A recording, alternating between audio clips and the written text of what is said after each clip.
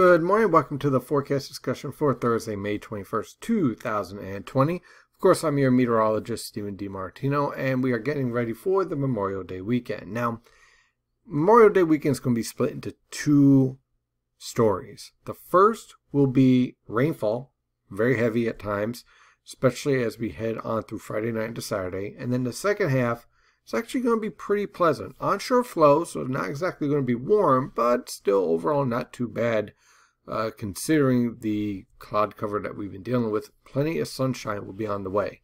For today, sunshine is definitely going to be in place with high pressure basically sitting right over the region this morning.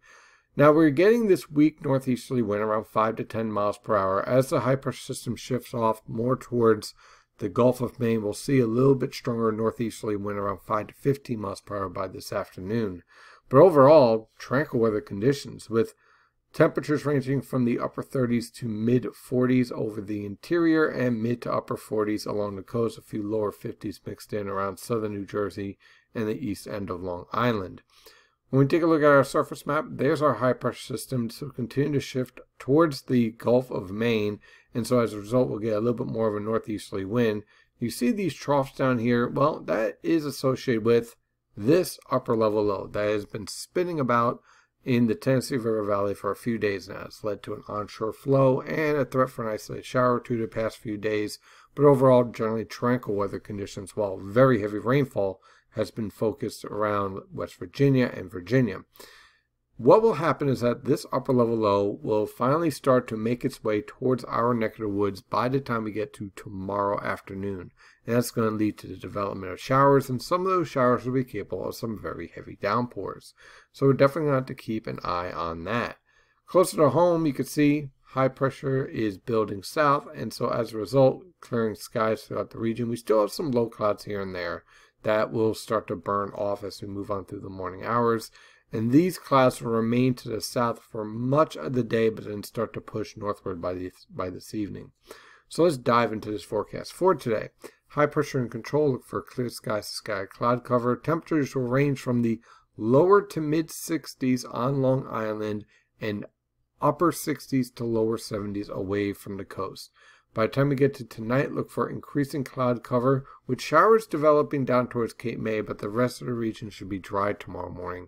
Look for lows tomorrow morning in the upper 40s to lower 50s. For tomorrow afternoon, showers will spread throughout the region, becoming heavy towards the evening. Look for temperatures to range from the upper 60s to lower 70s for highs.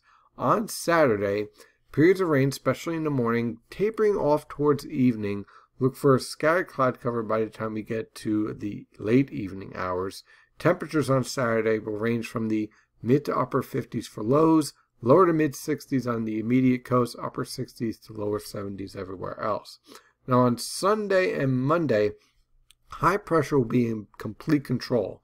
But this high pressure system is from the Canadian Maritime. So that's going to lead to an onshore wind and a marine air mass in place.